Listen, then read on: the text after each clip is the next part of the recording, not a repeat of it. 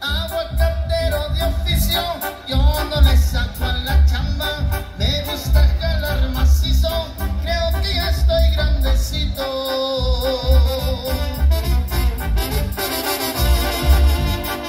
Para mantenerme el vicio, chéntenle músicos que ando como agua.